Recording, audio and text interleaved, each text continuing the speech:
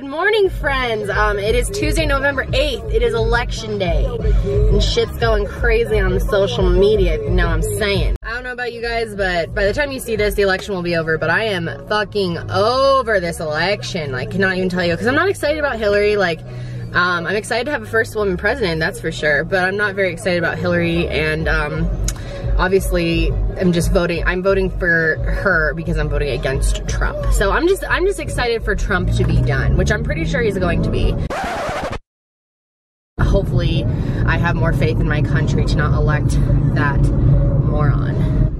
I was just talking with Alex um, from Learning to Be Fearless. I'm not sure if you guys watch her, but you should because she is awesome. I love her so much. But we were just texting and talking about how, like, so a lot of YouTubers don't share their political beliefs. And it's totally, like, kind of a risk for us because we'll lose, you know, I've lost a lot of Trump supporters this year, that's for sure. Anyway, um, I'm at the Starbucks drive through right now. I really want to see these new cups that everyone's freaking out over. These, like, diversity cups. So we'll see. Disappointing. I didn't even get the fucking cup. Fail. Fail. I really wanted to see that cup, but whatever, it's just a fucking cup. anyway, I'm headed back to Film Talk Tuesday. I'm gonna be talking about my thoughts of the election today, so it should be fun to film. I love talking about politics. If you haven't already catched on to that, catched on, caught on. I don't know what I have but I have the sickness of just feeling shitty and I can't explain why. I don't know what's going on with me. I just have been feeling like crap since Friday. Achy and tired and like just not in a fucking mood and feel kind of like feverish. My stomach's bothering me, my throat's bothering me. But I'm about to suck it up and film anyway. So wish me luck. I filmed my video. But also, let me turn this babbling off. The first polls close in an hour. Um, and I am so, so excited to watch this shit be over. I'm so over it. I just saw the most hilarious picture of Donald Trump looking at, like peeking over at Melania's um, ballot. like to make sure she fucking voted for him. This is just, you can't even make this shit up. This has been the weirdest election, election. I can't even talk anymore. This has been fucking off the charts though. And I, I'm so excited for this to end. It's already looking grim for Trump. In that state. Yes which is good I was getting really nervous a little while ago, though. Yeah. Florida, which tends to be Democratic, especially in the southeast. Florida, but now it's like, if he takes Florida, it's pretty much over. But that I-4 corridor. Yeah, I mean, Florida and then North Carolina and Pennsylvania, the, the battleground states. Lily, stop it. Don't. Test us, but yeah, we're just hanging out watching uh, CNN coverage of the election and eating some guacamole. So we'll see. We'll see what's going on. I'm feeling pretty confident. In this. Yeah, I mean, I wasn't worried about it at all. I'm on edge right now. It's freaking me out. 197 to 131. Trump. Trump won Florida. Ugh, I'm gonna throw up. I cannot. I cannot believe. I'm so glad we didn't move there. I feel like sick to my stomach. I can't even eat dinner. I like honestly feel like I'm gonna cry. Lose the House and the Senate the presidency, the House, the Senate.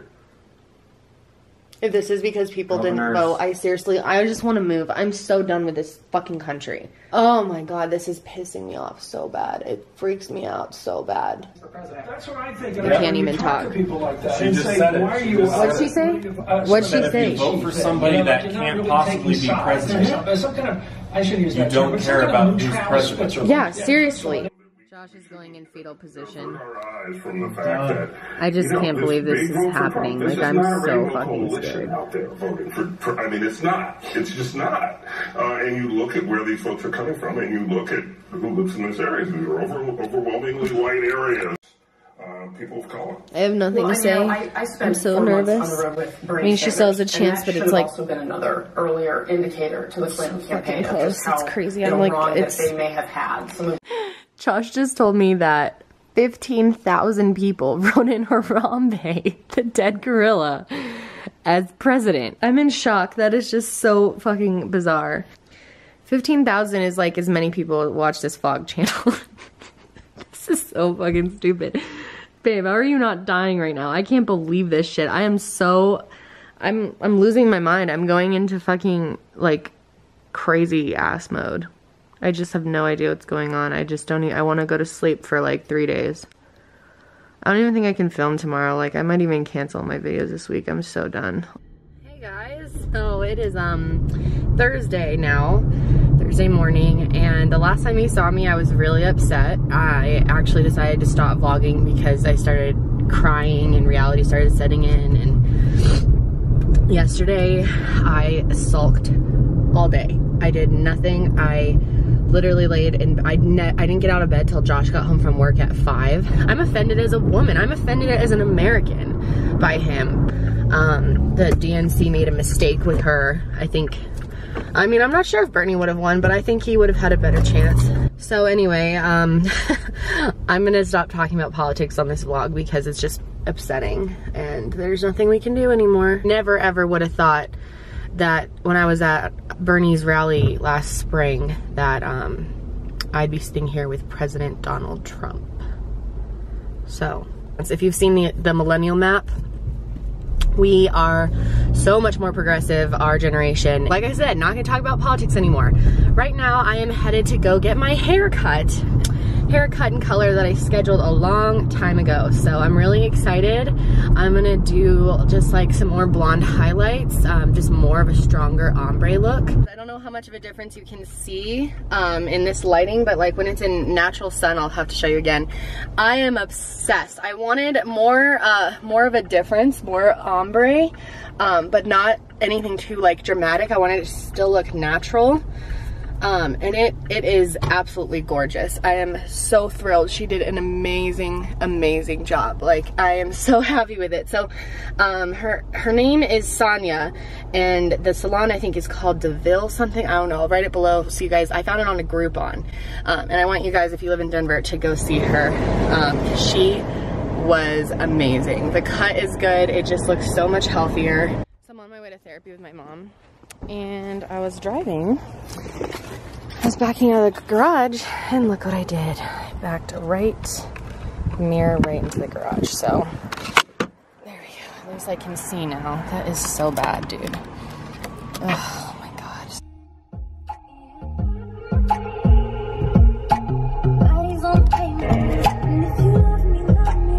So good news. Josh wasn't that mad at me for fucking up the car because he fucked it up too.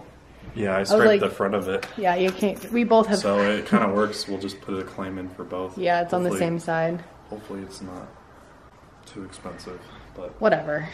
Shit happens, and today was a shitty day. I was just so distracted. It was my first day back in reality after the Trump won. So, um, but yeah, it just sucks that we just got that card. Oh, anyway, we're gonna go to the gym. We've been talking about the election for the past like two hours since Josh got home and feel a little better. I'm trying, I'm trying really hard to be positive. And so we need to give him a chance. That's the only thing that you can do is give the Trump really a chance. speech right now? Yeah. Well, I people look to me for like my opinion on it because I've spoken about this. And people are feeling sad and scared and minorities feel terrified and yeah. LGBT community. I don't blame them, but I think we're gonna see a different Donald. And I think so too. I don't think he's as ridiculous as he like portrays. He used to be. Uh, he used to be a, a, Democrat. Yeah, a few years ago. He was pro-choice. He was much more level-headed. So maybe, maybe we'll see. I mean, he seemed kind of presidential today. I mean, I'm horrified, obviously, but you know, you got to try to be positive about it. And maybe, maybe, you know, I'm going to give him a chance until he gives me a reason to fight against him, but we'll see. So I thought a lot while I was working out. I always think a lot. Um, and I thought a lot about the election and how angry. I've been feeling like literally like depressed. Yesterday, like I said, I didn't get out of bed and today I was so grumpy. I even picked a fight with Josh over literally nothing and had to apologize. So I needed a good workout because I was in a shitty mood. Um, and when I was working out, I was trying to think about it, and I decided I'm not gonna make any any more videos this week. I was gonna like do a video talking about Trump. I, my video plans this week were supposed to, I was supposed to do a video on moon signs for tonight, and then for Sunday I was gonna do the drunk reacting to my own videos video. I changed it once this happened because it didn't feel I just could not get myself to just make like a, a video about astrology or a funny video like not feeling funny. I was thinking about it when I was working out. I was like, you know what? I think I need like a solid week off of the internet. Like so many people are making these videos about Trump and their thoughts and it's it's so soon. The wound is so soon. Like the wound is so soon that makes no sense but like the wound is fresh and i need time to think about it and accept reality really think about how i can be positive about this because being negative about it's not going to get us anywhere and four years is not that bad I mean, I'm I'm ashamed that he's president. It, I feel so bad for people that he has offended, and as a woman, I feel just terrible that this is my leader, and I don't know how how to be positive, but I want to think about it, and I want to think about just how I'm feeling about the whole thing, and um, I'm gonna just do a video on Talk Tuesdays because I know all of you guys want to know like my thoughts and everything. I'm not happy about it clearly, but I think there might be a silver lining, and I think there's a silver lining in everything. And maybe if we try to see it in a different way, we can try to see the good in this. And that maybe that four years will be much more progressive. Um, you know, the millennial vote, I don't know if you guys have seen it, but there's this map going around. I tweeted it. But it's about what the map would have looked like if only millennials voted, ages 18 to 25, and it was very hopeful. I feel very positive about the future. Next four years, not so much, but you know, I don't want to do what Mitch McConnell and the GOP did to Obama for years. I don't want to, I don't expect people to, to just accept it right away because it's horrible. It's horrible for a lot of people. It's devastating. And I don't know how I would feel if I was Mexican. I don't know how I would feel if I was Muslim. I don't know how I would feel if I was gay. But my sister is. and she's pretty fucking pissed and I don't blame her and I'm I'm pissed for her. But I think in the long term that maybe we can try to actually work together instead of just having deadlock. we'll have to see. That's my current thoughts on it. I'm going to take just some time off. I just need time to just think um, before I speak my mind on it. So that's it for me today, guys.